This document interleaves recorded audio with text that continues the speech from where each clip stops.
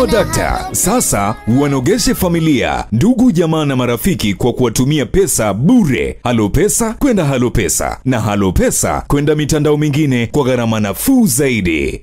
Halotel pamoja katika ubo mchezo wa mpira na kujitoa. Kwa hiyo kesho tunatarajia tena tutakuwa na mchezo mwingine dhidi ya timu hiyo ya Africa Lyon na utakuwa ni mchezo wa ligi kuu Tanzania bara. Of course hakuna mechi nyepesi, kila mechi ni ngumu na kila mechi kila mmoja anahitaji matokeo mazuri uwanjani. Lakini walimu wetu, mwalimu Cheche pamoja na msaidizi wake uh, mwalimu Cheche na mwalimu uh, Mingange wameandaa timu vizuri. Kama unafahamu kwamba baada ya mchezo mmoja inafuata ni maandalizi ya mchezo unaofuata. Tulikuwa na mashindano ya kombe la FA yamekwisha na tumeingia katika hatua ya robo finali. Tunasubiri draw ifanyike tuweze kujua kwamba tutacheza na nani kwenye hatua ya robo finali. Lakini mchezo huu utakuwa ni mchezo wa kwanza wa ligi kuu kwa makocha wetu wapya ambao tumewakabidhi timu. Walianza na FS na wanakuja kwenye ligi kuu.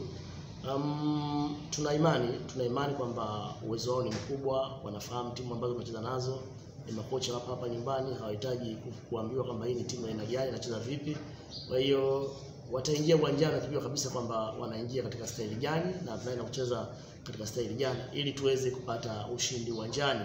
Lakini niseme tu kwamba hatuna majeruhi kwa sasa. Tumeondoa Daniel Amo ambaye alikuwa ndo majeruhi na Kimwaga, wabakia wote wamerudi. Uh, Domayo mnamuona amerudi, Chumvi anafanya shughuli yake na amerudi na moto mkubwa sana safari hii baada ya kuumia. Anahitaji kurudisha nguvu zake na anahitaji kuonyesha uwezo wake kwa muda ambao amekaa, anataka kuweza kufanya kitu kwenye timu ya Azam baada ya kukaa muda mrefu nje.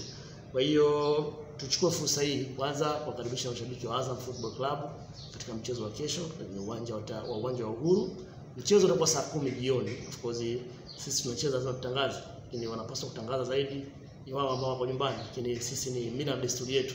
Kila mechi yetu ni kwamba lazima tutangaze na watu waweze kujua kwamba Azam wiki hii iko wapi. Lakini niseme tu kwamba baada ya kumaliza kwa mchezo huo unaokuja dhidi ya eh, African Lyon, timu itakuwa mikoani. Tuna safari ya Mwanza, tuna safari ya Mbeya, lakini vile vile tuna safari ya Mtwara.